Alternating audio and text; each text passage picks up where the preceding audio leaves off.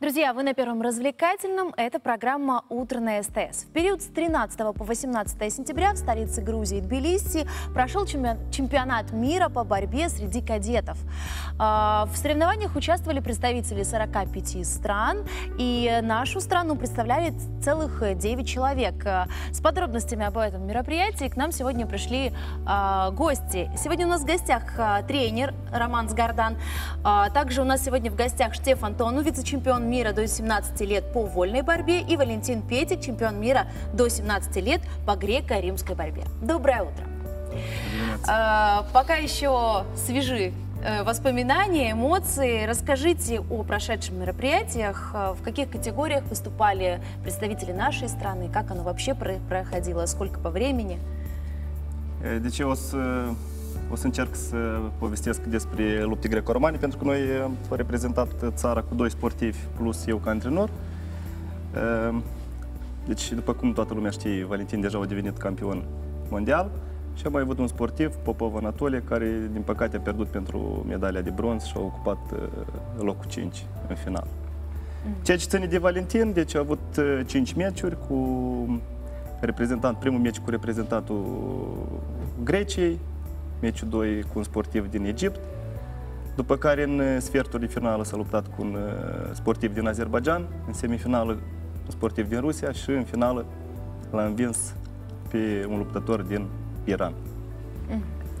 Suntem, să... suntem mulțumiți, suntem fericiți, felicitări lui Valentin și tot grupul de antrenori care lucrează la Liceul Internat Republican Profil Sportiv. Mult succes în continuare, în continuare și sigur că important să gestioneze коррект succesul ăsta. Да, я думаю, что это очень да. высокая планка для такого юного да. возраста. А что касается Штефана, deci Ștefan o să, cred că singur să povestească ce și cum. Da. Ei au evoluat după noi, adică ei au încheiat, noi am început concursul, ei deja au încheiat concursul, așa că Ștefan o să spui impresiile. Объясните мне, я понятия не имею весь этот алгоритм, как это происходит. O să vorbesc și eu în română, m-am hotărât, nu vreau să vorbesc în rusă. Mulțumesc mult. Deci a fost, am avut patru lupte foarte grele, dintre care trei am învins, am cedat în fața americanului. A fost greu, campionatul mondial din Tbilisi este la un nivel înalt, mi-a plăcut atmosfera de acolo, este superbă. Totul a fost organizat la un nivel înalt, frumos, deosebit, unde am rămas uimiți de către orașul Tbilisi, țara Georgia, o frumusețe enormă, a rămas fără de cuvinte și То есть, в принципе, а вы впервые, да, выезжаете куда-то на соревнования за gраницу? Nu, am mai fost. Am mai fost, însă Georgia este orașul care m-a lăsat mult mai mult urmit decât alte orașe. Este...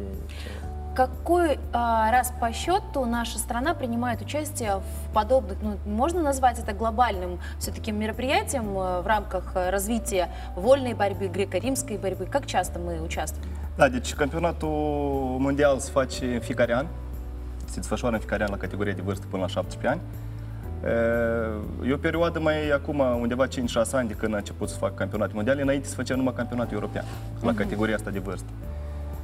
Noi, sigur, am avut medalii, au fost practic în fiecare an erau medalii la europene, la mondiale cam greu, a fost mai greu.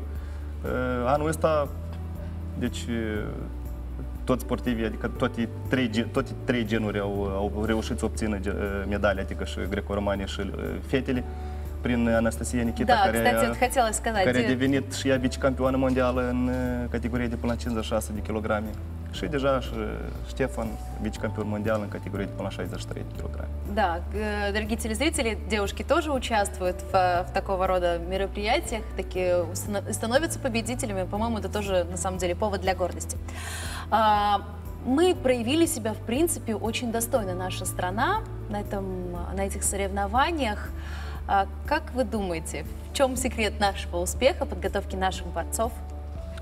Păi secretul e multă, multă muncă. Asta, în primul rând, ăsta e secretul, pentru că ceea ce ține de noi, noi am muncit foarte mult la, ca să ajungem, să ajungem acolo.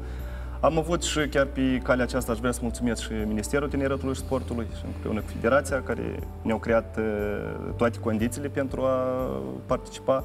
Deci am început pregătirea centralizată în, în uh, primăvară. Am, am reușit să, să luăm parte la două turnee mari, unul în București și unul în uh, orașul Subotica, Serbia. Deci la mondiale ne-a fost uh, un pic mai ușor. De ce? Pentru că noi știam, uh, majoritatea adversarilor deja îi, cuno- îi cunoșteam și putem fiecare din ei să, să abordăm adică o anumită tactică la, la fiecare meci aparte. А какая Астафов. наша страна, э, страна обычно является главным нашим конкурентом? Есть ли какая-то закономерность? Или как придется? Ну, где самые Nu, de сильные? obicei, de obicei, cel mai mult, cel mai eh, puternic și cel mai, eh, cel mai dezvoltată luptă se află în, eh, în țările ca Rusia, Turcia. Dacă, deja dacă vorbim la nivel mondial, ei, eh, sunt eh, Statele Unite, Iranul, țările unde sunt. Chiar și țara gazdă. Țara gazdă e o țară foarte puternică, mai ales în lupte. Deci au, practic, eh, de obicei, medalele lor le aduc la Olimpiadă doar la lupte. Э, Валентин, скажи, как ты считаешь, есть ли в нашей стране, в рамках нашей страны, все необходимые условия для э, достойной подготовки борцов, для того, чтобы проявить себя? Condiții, cum vă spun, uh, poate că nu sunt așa mari, dar avem în în Republica Moldova niște antrenori foarte buni care, uh, practic, uh, vă spune că au muncit uh, mai, mai mult timp, uh, au, uh, oferă nouă decât familii, sunt niște antrenori foarte experimentați. Uh, Avem unele condiții, s-ar putea și mai mult, dar suntem mulțumiți și cu atât. Я думаю, что э, результат, э, он и есть показатель того, что все-таки у нас действительно хорошие тренеры. И, наверное, завершающий такой вопрос. Расскажите, Роман, какая следующая ступень? Какой еще Олимп надо покорить? Есть ли еще выше куда Da, двигаться? sigur. Deja la anul, deja la anul, da, și Ștefan și Valentin și deja ei trec la altă categorie de vârstă, deci altă categorie de vârstă, categoria juniori până la 20 de ani. După care, după ce vor trece categoria asta de vârstă, sigur că îi așteaptă nivelul de seniori, unde sunt cele mai importante medalii și istoria rămâne numai medalele de acolo. Dacă, dacă reușești să aduci o medalie la seniori, deja te, te afirmi ca un sportiv adevărat. Deci medalia asta, care o, medalie care le-au luat ei, uh, cu nimic nu scădem nivelul lor, de, adică greutatea medaliei, să spun așa. E foarte importantă și eu sper că pentru ei să fie un, uh, un imbold pentru a merge mai departe și pentru a arăta rezultate mult, mult, mult mai bune și la nivel de seniori. Deci încolo mergem, uh, condițiile, noi, nu- adică v-am vrut să menționez că luptătorii de obicei nu se plâng, luptătorii vin în sală și muncesc, și sigur că sunt anumite întrebări, dar uh, vă spun că ceea ce ne poate să ne oferă statul, noi suntem mulțumiți. Sigur, sperăm și noi la mai mult, că vrem să plecăm nu numai cu doi sportivi sau cu trei, vrem să plecăm și noi cu mai mulți sportivi, când o să fie posibil, cred că o să plecăm și noi cu mai mulți și. В таком случае мы желаем вам удачи. Напомню, что а, совсем недавно эти ребята вернулись с соревнований э, из э, Грузии. Мы проявили себя там очень достойно, привезли не одну медаль, а с чем мы вас поздравляем и благодарим за то, что пришли и поделились э, со всей страной этой новостью хорошей. Желаем вам удачи.